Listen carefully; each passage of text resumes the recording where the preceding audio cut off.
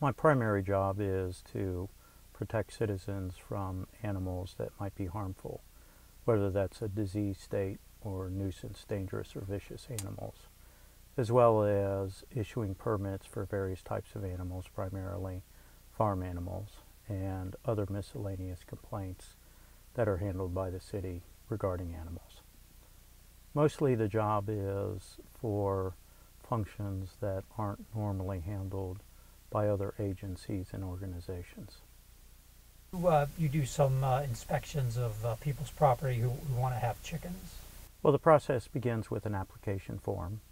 There's a requirement for um, them to submit some homework, cleaning and disinfection of the property, um, as well as having a veterinary examination to make sure that the animals are uh, free of zoonotic disease symptoms. Are you familiar with a disease with uh, an organism called histoplasmosis?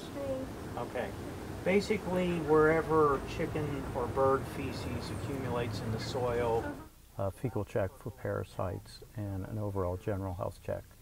These are similar to the requirements for a uh, certificate of veterinary inspection, uh, commonly used for health inspections uh, on animals. Uh, over and above, in addition to that, the requirements are that the coop and the run, uh, when we're speaking about chickens, and we offer permits for other farm animals as well, but of course chickens have uh, become uh, much larger in number than the other requests. certainly uh, the residents stated there are chickens here. Uh, the coop, the enclosure, has to have an impervious floor and be undercover. When we're talking about large animals, there has to be uh, access to a city sanitary sewer uh, because of the larger amount of waste uh, that might be generated under those circumstances.